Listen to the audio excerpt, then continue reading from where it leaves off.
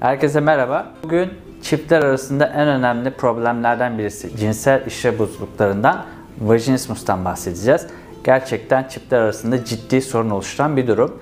Nedir vajinismus? Kişinin e, istemsiz olarak ilişkiye girememesi durumudur. Özellikle vücut kaslarında, vajinal ve bacak kaslarında istemsiz kasılmalara bağlı bayan ilişkiye giremez.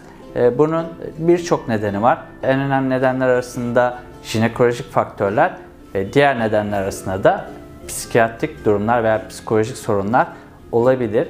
E, kişi bu durumla karşılaştığında ne yapmalı? Aslında sorununu e, eşi veya partneriyle birlikte hekimine danışmaktan çekinmemeli. Problemini e, açığa vurabilmeli. Vajinismus durumunda kişi ilk önce ne yapacak? E, ilk olarak jinekolojik olarak değerlendirilmesi gerekiyor. Altta yatan jinekolojik bir problem var mı? O araştırılmalı. Bunlar arasında ne olabilir? Vajinal kuruluk olabilir, kronik vajinal enfeksiyonlar olabilir, doğuştan yapısal anomaliler olabilir. Vajen girişinde perde veya iç kısımda perdeler gibi durumlarda yine vajinismus durumları olabilir. Sonradan da oluşabilir vajinismus.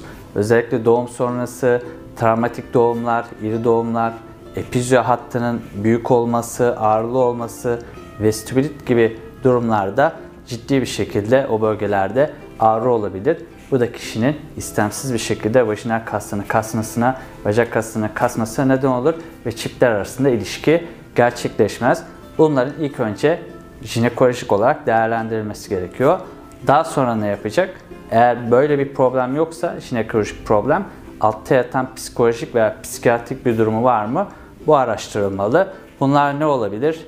Daha önceden bir cinsel istismar durumu olabilir veya majör depresyon durumları olabilir. İlk ilişkinin çok ağırlı olacağını düşünme, bunun sonrasında ciddi kanamaların olacağını düşünme gibi durumlarda da yine kişi kendini istemsiz olarak kasabilir ve vajinismus durumu ortaya çıkabilir. Altta yatan nedenlerin e, tespit edilip hızlı bir şekilde tedavinin planlanmasıyla vajinismus kısa sürede tedavi edilebilir bir durumdur. Sonrası iyilik güzellik.